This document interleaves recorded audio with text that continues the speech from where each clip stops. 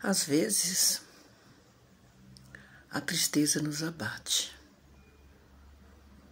Sim, ficamos tristes, sem saber o que fazer, sem vontade de sair, de sorrir, de falar. É uma tristeza estranha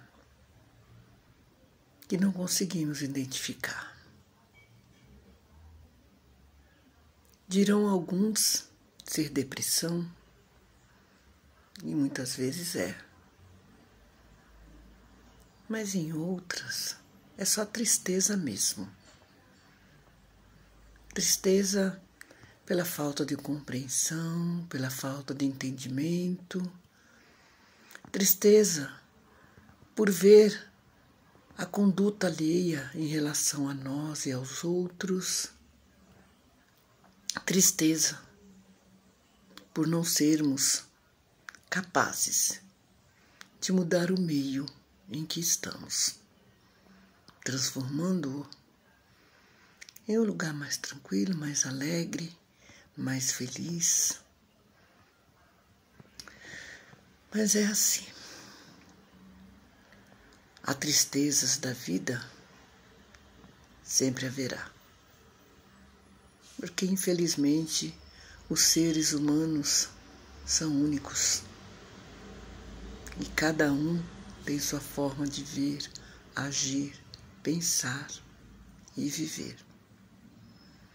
Mesmo que tudo isso possa entristecer um ou outro, ou até mesmo nós mesmos.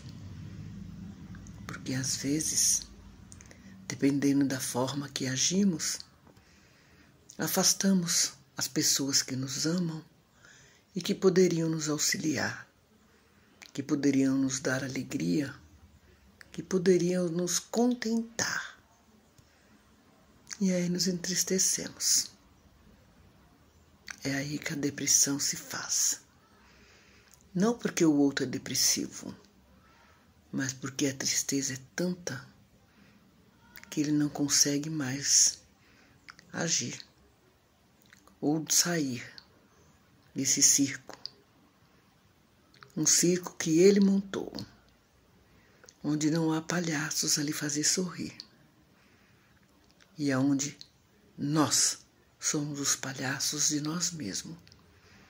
Porque ou olhamos no espelho e sorrimos para nós, ou viveremos eternamente no mar de lá.